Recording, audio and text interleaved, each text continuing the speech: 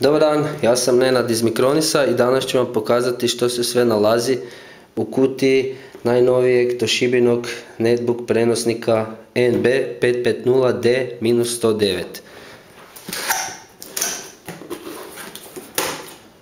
Znači, u kutiji imamo uputstva na više jezika. Imamo adapter za struju sa svojim pripadajućim kabelom.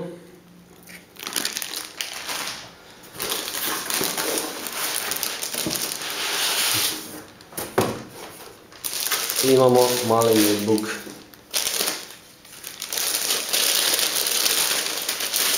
Koji je smeđe boje. Znači ovaj naš netbook dolazi sa AMD Ontario Dual Core procesorom najnovije generacije, male potrošnje. Ekran je 10,1 inča, rezolucije 1024 x 600 piksela. Ima najnoviju grafiku AMD Radeon HD 6250M. Ima instaliranih 1 GB DDR3 RAM memorije koja je naravno proširiva do 2 GB. Ima u sebi 250 GB SATA disk. Naravno nema optički uređaj. Ovdje sa strane imamo dva USB utora.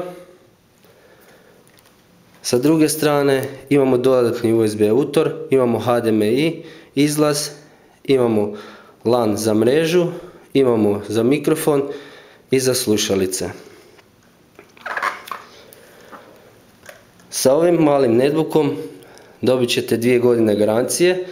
Tipkovnica je vrlo robustnog dizajna i da se lijepo na njoj raditi. Ovdje imate i dodatne zvučnike koji su idealni.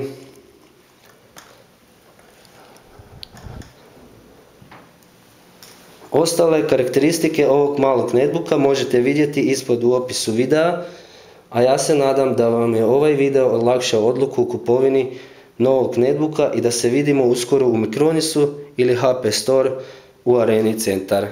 Hvala, dođenja.